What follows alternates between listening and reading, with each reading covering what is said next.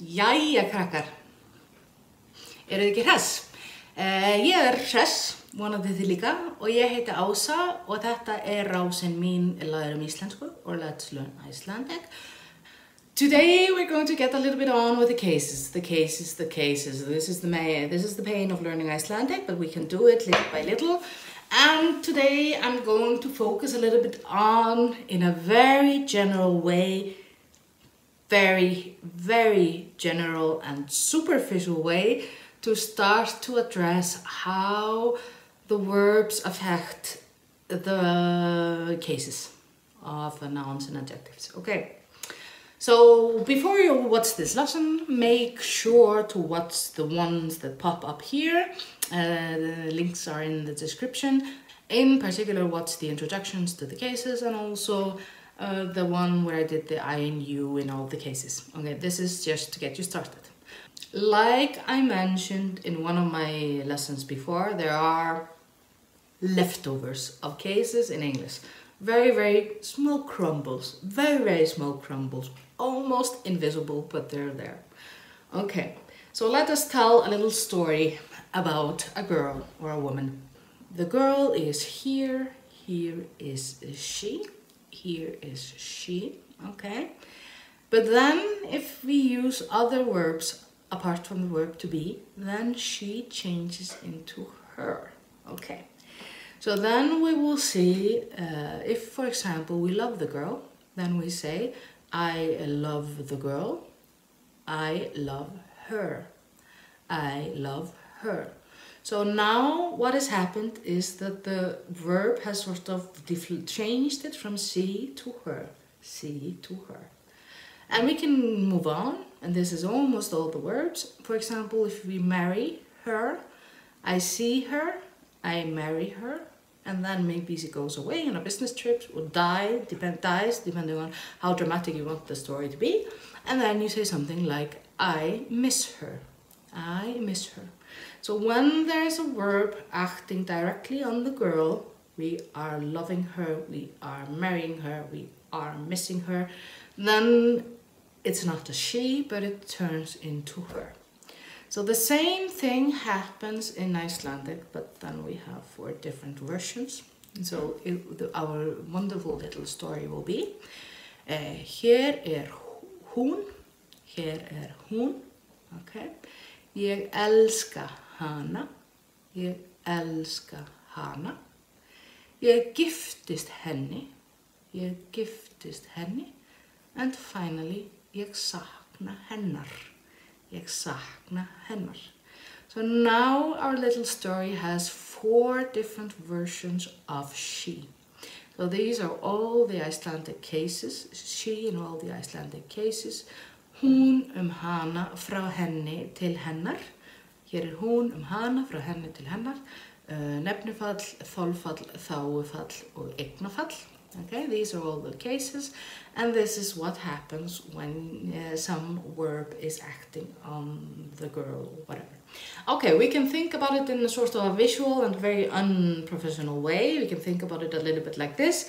Let's say that I'm the main person in in the story. It's told from my perspective. I'm the one that loves the girl and marries her and whatever.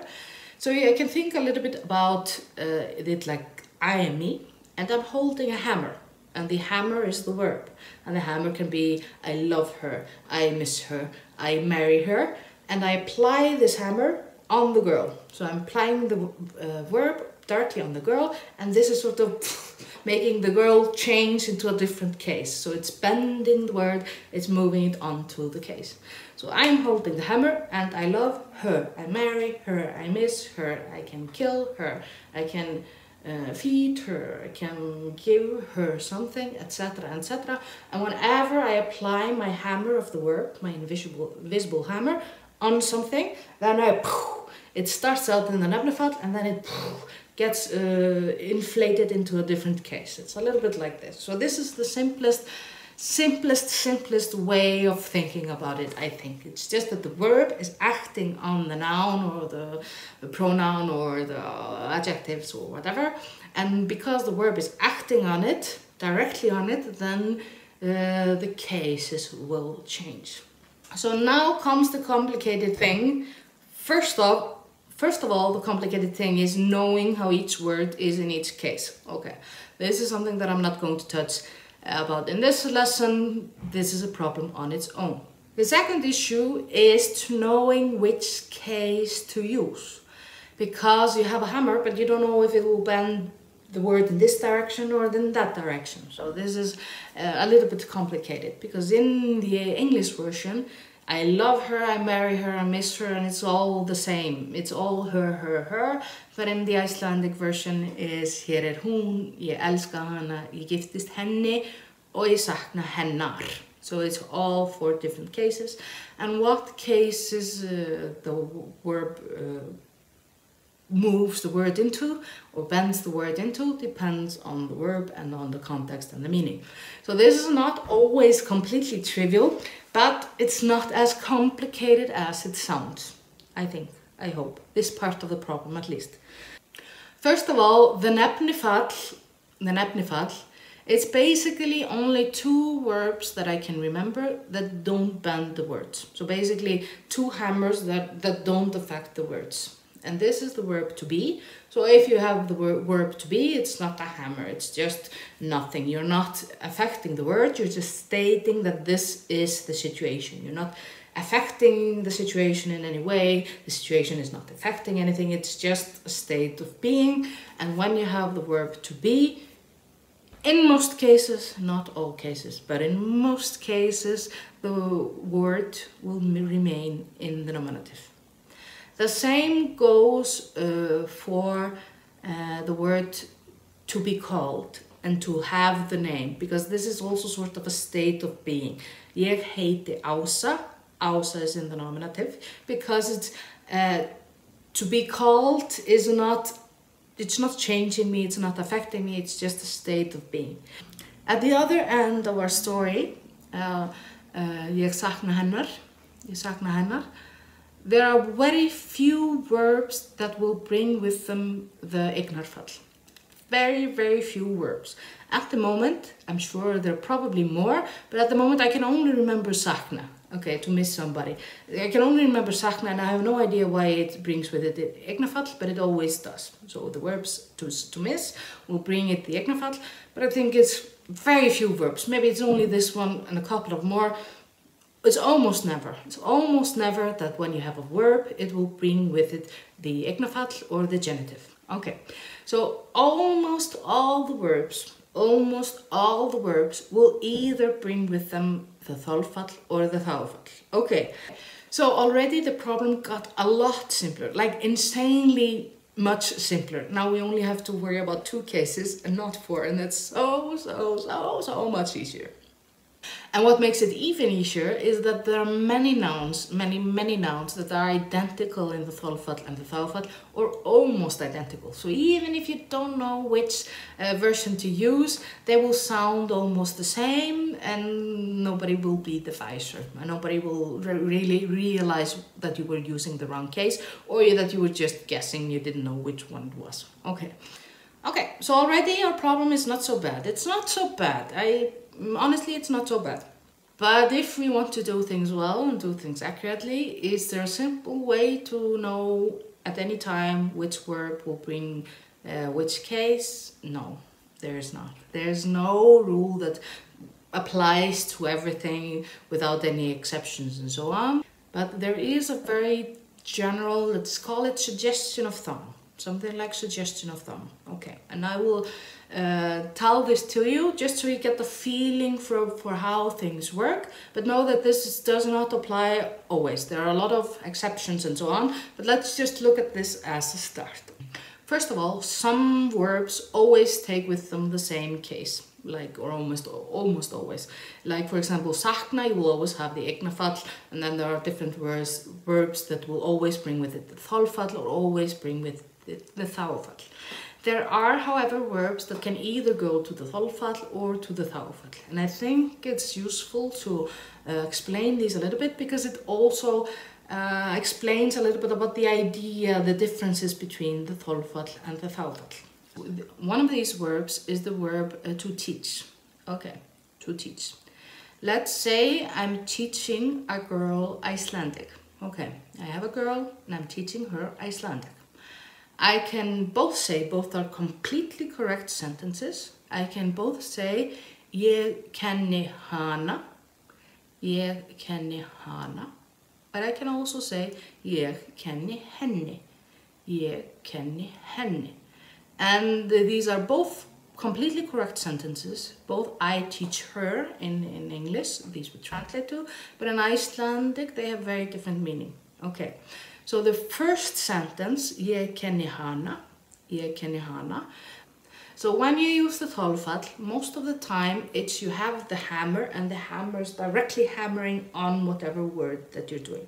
So I'm teaching her, I'm teaching her, and then this and in this uh, context, her refers to Icelandic because Icelandic uh, is a female word, so we would use she about Icelandic. Og ég kenni hana, I'm teaching her, I'm teaching directly Icelandic, I'm teaching her. Okay. However, when you are using þágufall, more often, again, not a strict rule that applies always, but a general suggestion of thumb is that when you have the þágufall, more often you're doing something with somebody. Okay, like you're marrying them. You're not like marrying them directly, brutally. I mean, you're marrying together in some sense. I mean, it's a little bit like this. So when I say I teach her, in the sense, this means I'm teaching the girl Icelandic.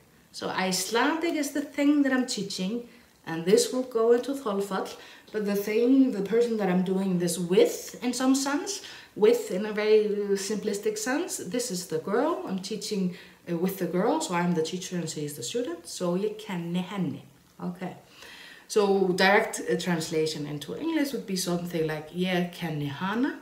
In english you would say uh, i teach it meaning the icelandic i teach it to the girl and then uh, ég kenni henni, ég kenni henni is I teach her. I teach her, the girl. Okay. Another very similar example is the verb uh, to give. To give. Okay. Uh, ég gef uh, stelpunni gjöf. Okay. Let's say I give the girl a gift. Ég gef stelpunni gjöf. And like before, stelpa is a female word, but gjöf is also a female word. So we can say two sentences that sound the same from, from a naive point of view but have different meaning is that ég uh, gef hana, ég gef hana and then ég gef henni, ég gef henni. Okay, ég gef hana, this means I give her she is the thing that is being given. She is the gift. Ég gef hana. Ég gef hana. But on the other hand, if we say ég gef henni, ég gef henni, then we say uh, I give her. I give her, meaning I give something to her. She's the one receiving the gift. Okay, so this is, uh, I think this is a nutshell a little bit about why we do the cases a little bit because in English if you say I give her without any further explanation it could either mean that she is being given something or if she is the gift. In Icelandic uh, there are two different meanings depending on the, the same words but the different cases and this gives you the different uh, meaning.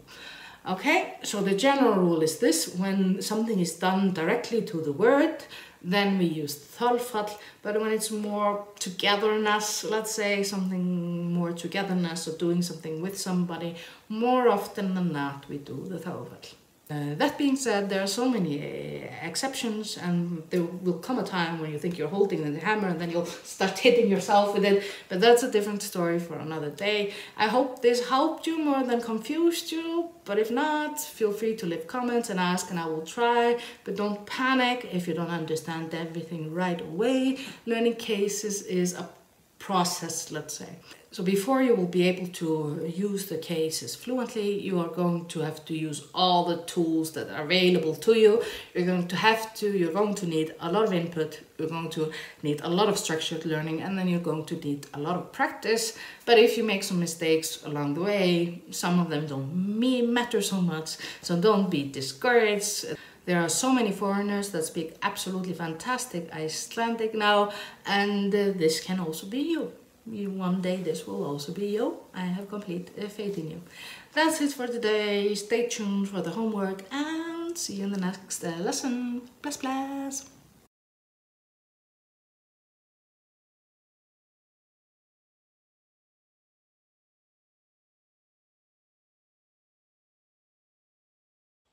You know the drill by now. Press pause, take all the time that you need, and now I will give you the result. Hér er hún, ég elska hana, ég giftist henni og ég sakna hennar. Try to connect to the right translation. Press pause, take your time. Here is the answer. Now try to fill in with she in the right uh, case. Press pause, take your time, and here is the result. Ég sakna hennar. Hér er hún. Ég giftist henni. Ég elska hana. The final exercise of today, do the same but now with the word you. So now I hope you remember how the cases are of the you. Uh, press pause, try, uh, take all the time that you need, and then now I will give you the correct answer. Ég giftist þér, ég elska þig, ég sakna þín, and finally, hér ert þú. That's all for today. Bless, bless.